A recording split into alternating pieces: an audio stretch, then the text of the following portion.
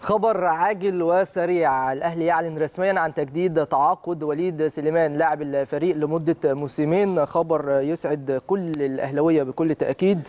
خلينا نقول لحضراتكم الخبر سريعا. أعلنت لجنة تخطيط للكرة بالنادي الأهلي تجديد عقد وليد سليمان لاعب الفريق الأول لكرة القدم بالنادي لمدة موسمين قادمين.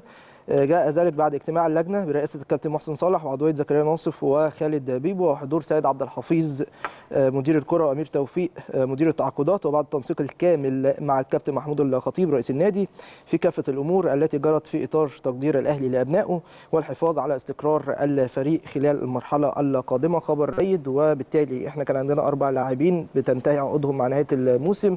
دلوقتي أصبحوا ثلاثة فقط لسه مفيش أي مستجدات لأحمد فتحي حتى الآن لكن اللي إحنا كنا عارفينه وقلنا لحضراتكم إن النهارده كان أول جلسة أو الاجتماع كان من خلال أحمد فتحي ووليد سليمان في حضور الأسماء مسؤولي النادي الأهلي اللي إحنا قلناهم لحضراتكم. الناتج حتى الآن هو تجديد تعاقد وليد سليمان فمبروك لوليد ومبروك على النادي الأهلي تواجد كمان لعيب بقيمة وليد سليمان وخبراته خبر جيد لكل الجماهير الأهلاوية. خلوني أرحب